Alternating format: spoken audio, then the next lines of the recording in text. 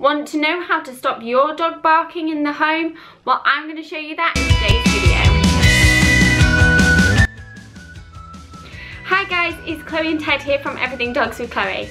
And on this channel, we help you keep your hairy hound happy and healthy by posting dog tips just like this one on how to stop your dog from barking and anything else to do with your dog.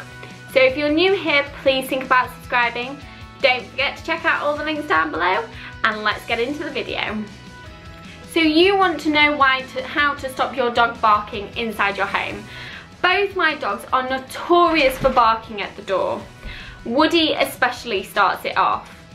Now, I normally let my dogs bark at the door purely because they are warning me that someone's there and I don't want them to stop them from barking at the door because I like them to warn people that there are dogs in this house and they shouldn't come any closer.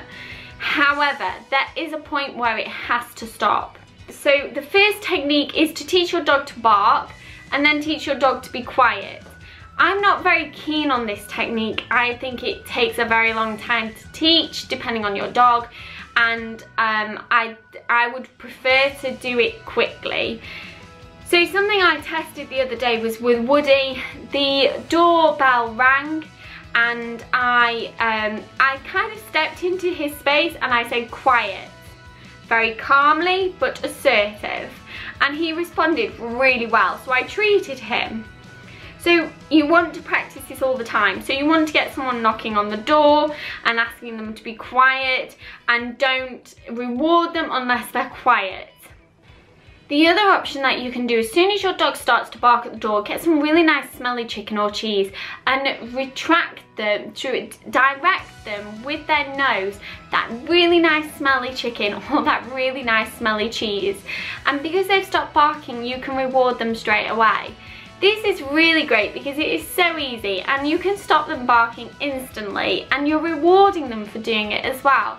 I really like this training technique. It's going to work so well. If your dog barks at someone as they go past, you can also use this training technique for that as well.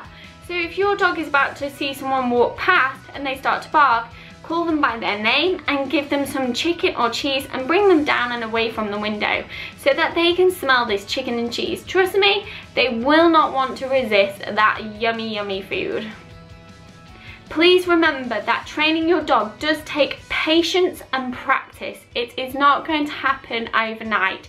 It may take a few months to stop your dog from barking, depending on how much they bark in the home. Also only use one training technique and one voice command and one signal so your dog does not get confused of what you are asking them to do. Thank you so much for watching and if you are new here, please think about subscribing. Also leave down in the comments section down below of what technique you are going to use to stop your dog barking. Also, don't forget to check out all the links down below and I hope to see you next time. Thanks for watching guys. Bye!